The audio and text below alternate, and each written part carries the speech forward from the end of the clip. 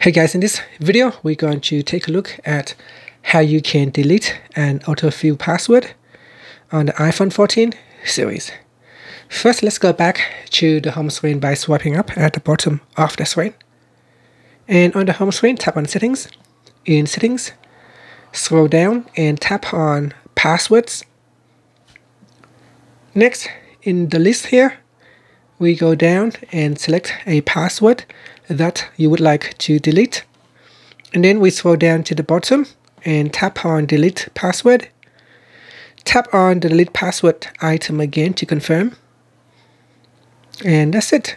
Now after that, you can tap on the back key to go back to settings or swipe up to go back to the home screen. The next time when you are using an app or a website and when you try to log in, it will not offer you to use that password anymore. And that's it. Thank you for watching this video. Please subscribe to my channel for more videos.